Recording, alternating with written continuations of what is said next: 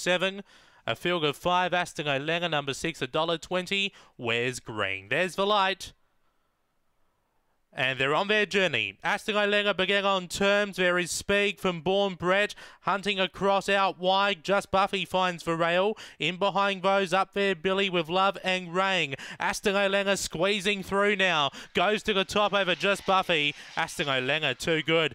Beaks home Just Buffy. Up there, Billy. Uh, fourth will be Love and Rain. And last of the five, Born Brett. Times around the uh, 16 and 50 mark. After race 11, number 6, Aston O'Lenga for Dave Peckham. Gets for prize in front of the 8, Just Buffy. Kathy Johnston, third for 2 up there, Billy. Jack Trengo, fourth for 4. Love and Rain, Yvonne Maxwell. 6824 1655. 6824, the odds only gets up after race 11 here at Murray Bridge.